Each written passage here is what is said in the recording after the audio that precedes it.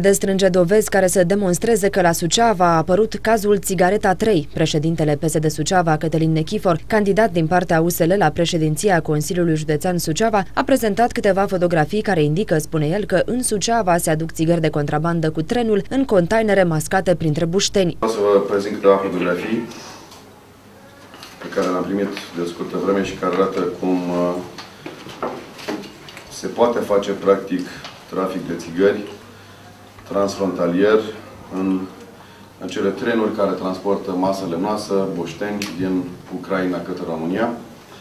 Uh, pozele nu sunt foarte clare, sunt făcute cu un telefon mobil, cred, dar arată clar că în aceste vagoane care transportă uh, boștean, există locașe speciale, locuri speciale în care se introduc anumite, anumiți baloți, anumite containere care, din câte avem noi informații, conțin țigări de contrabandă.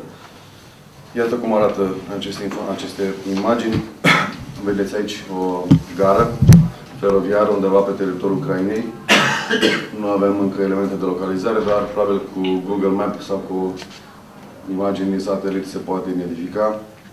Aici, în această zonă, este montat un uh, container cu macara și el vine îmbrăcat ca un lambriu frumos, îmbrăcat cu buștean, așa încât în final când trece vagonul prin gară, pe șina ferată, nu se vede nimic, decât la destinație, unde se descarcă din nou și unde se recuperează cel pachet. Informațiile noastre spun că există o filieră PDL care se ocupă cu astfel de transporturi de masă masă.